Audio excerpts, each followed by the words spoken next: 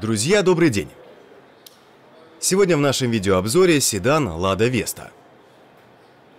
На видео автомобиль в комплектации люкс с пакетом Prestige с двигателем объемом 1,6 литра, с передним приводом и с вариатором. Цвет автомобиля синий металлик с крышей черного цвета.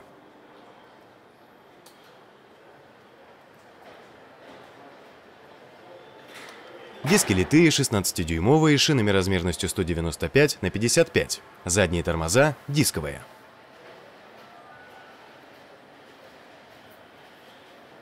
В заднем бампере расположен парктроник. Камера заднего вида расположена над задним номером. Рейлинги отсутствуют. Антенна расположена в передней части крыши. Боковые зеркала окрашены в черный глянец. А ручки дверей окрашены в цвет кузова. Брелок ключа с тремя кнопками. Система бесключевого доступа не предусмотрена. Заглянем внутрь.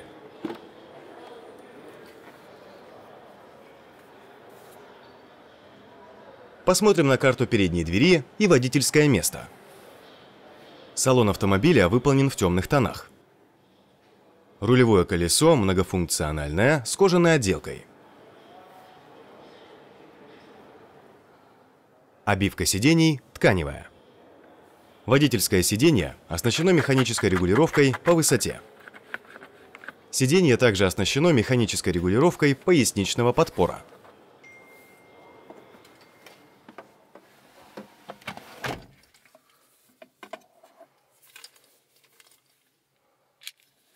Включим зажигание автомобиля с помощью ключа. Панель приборов аналоговая с белой подсветкой. Левый подрулевой переключатель отвечает за управление осветительными приборами. Предусмотрен автоматический режим. Включим габариты, ближний свет и противотуманные фары. Указатели поворотов. Левый и правый.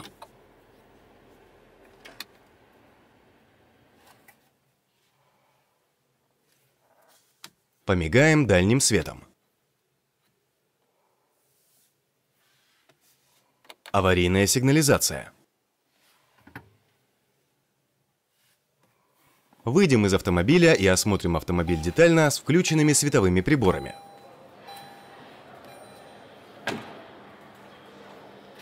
Боковые зеркала с повторителями указателей поворотов. Автомобиль оснащен галогенными фарами. Передние противотуманные фары галогенные. Передний парктроник не предусмотрен. Задние стекла с заводской тонировкой. Клиренс автомобиля составляет 178 мм. Задний бампер снизу декорирован черным молдингом. Задние фонари и подсветка заднего номера с обычными лампами. Задняя противотуманка расположена посередине в заднем бампере. Возвращаемся в автомобиль.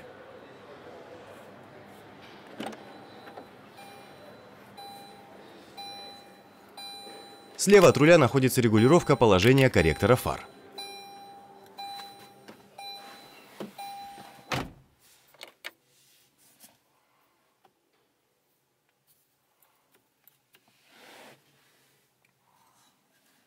На водительской двери расположена кнопка системы электроскладывания боковых зеркал.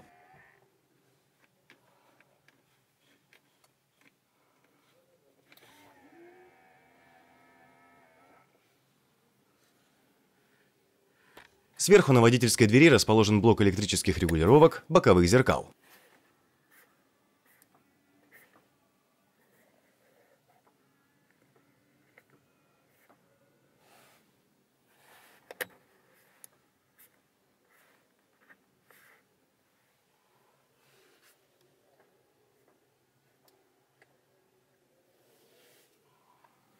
Далее идет блок управления передними и задними электростеклоподъемниками.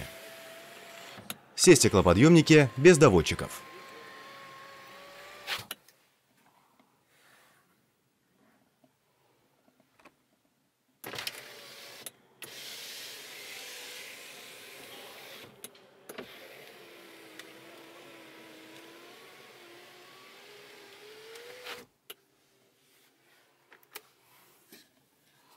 Правый подрулевой переключатель отвечает за управление передними дворниками. Предусмотрен автоматический режим.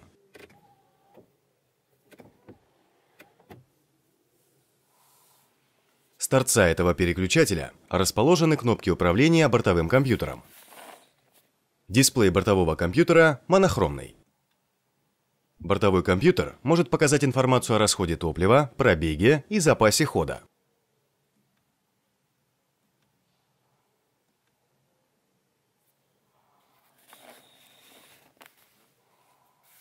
Кнопки слева на руле отвечают за управление круиз-контролем и лимитатором скорости. Индикация круиза и лимитатора скорости на панели приборов. Кнопка включения электрообогрева руля. Дефлекторы системы вентиляции расположены по бокам от дисплея мультимедийной системы. В автомобиле установлена мультимедийная система с цветным сенсорным дисплеем размерностью 7 дюймов.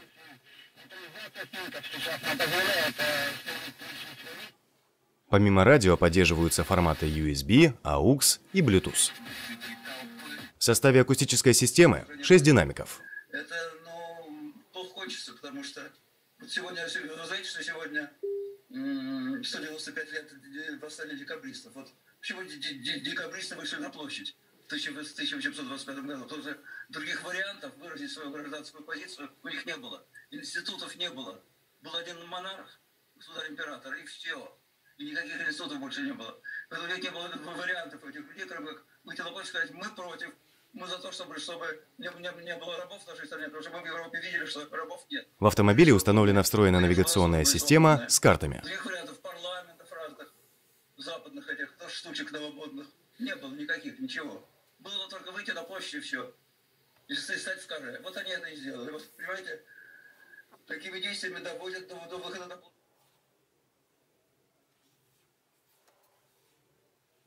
себя примеряли вот эти все новые законы, особенно в части иноагентов и клеветы, Кнопки на руле дублируют управление аудиосистемой. Можно менять громкость или менять радиостанции. Также можно управлять мобильным телефоном, подключенным по Bluetooth. Кнопка управления центральным замком. Кнопка отключения антипробуксовочной системы. Кнопка включения электрообогрева лобового стекла. Климат-контроль однозонный. Включим систему с помощью кнопки «Авто». Правая шайба отвечает за регулировку интенсивности обдува. Левая шайба отвечает за регулировку температуры.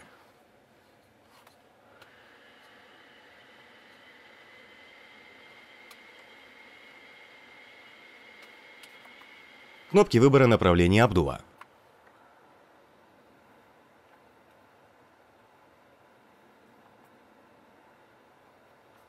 Кнопка включения электрообогрева заднего стекла и боковых зеркал.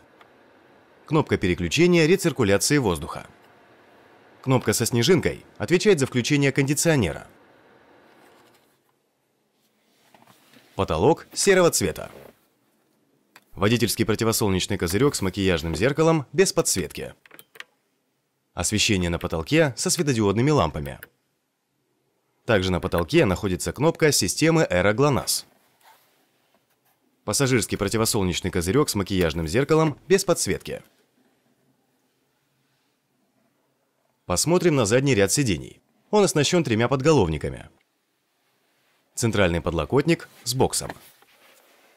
Крышка подлокотника не регулируется. Подстаканники расположены в центральном тоннеле. Перед рычагом коробки передач расположена розетка на 12 вольт и входы USB и AUX для мультимедийной системы.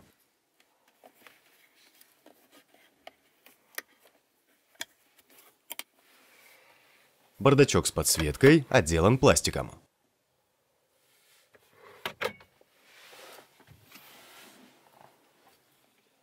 Кнопки подогрева передних сидений. Подогрев трехрежимный.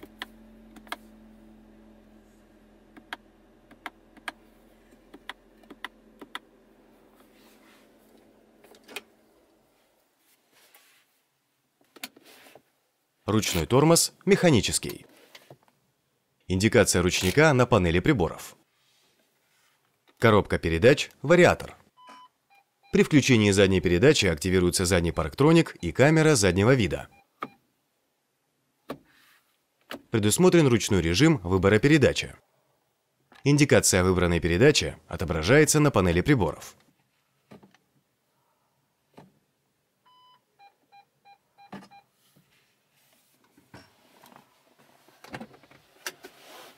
Теперь перейдем к осмотру заднего ряда сидений.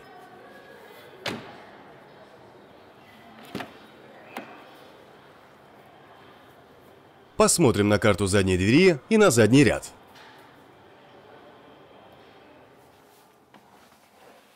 Оценим, как выглядит передняя приборная панель.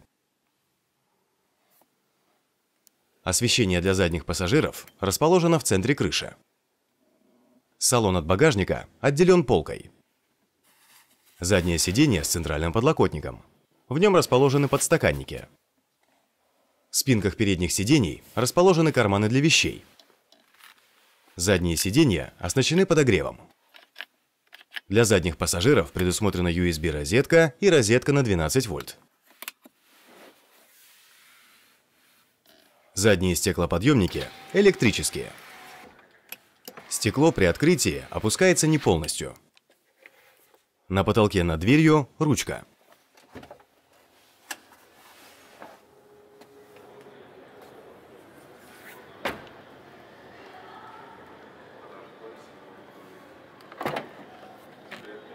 Теперь перейдем к осмотру багажника. Объем багажника составляет 480 литров. Боковины и пол багажника отделаны тканью.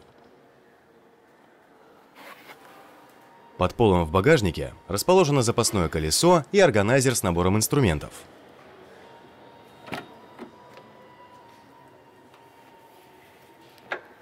Для сложения спинки необходимо потянуть за рычаг.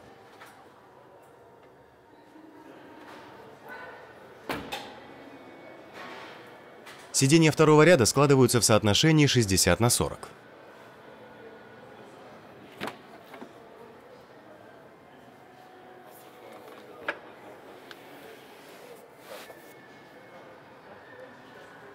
При сложении сидений образуется ступенька.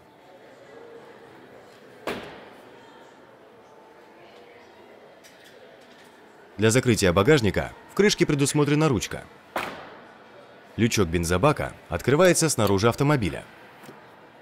Объем топливного бака составляет 55 литров.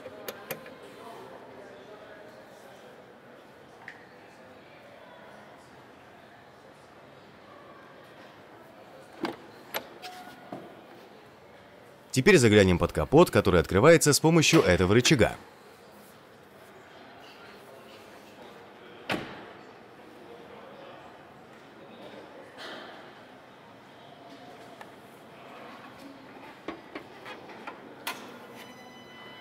Капот фиксируется с помощью ручного упора.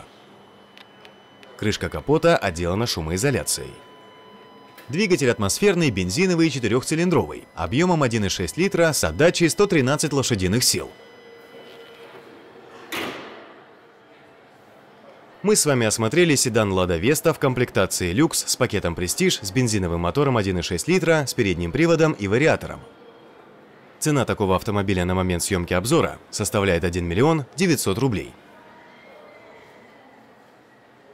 Друзья, ну вот наше видео и подходит к концу. Не забывайте ставить лайки и писать в комментариях, понравилась ли вам машина и какие бы еще машины вы хотели бы увидеть на обзоре. И самое главное, подписывайтесь на канал Дром. До скорых встреч!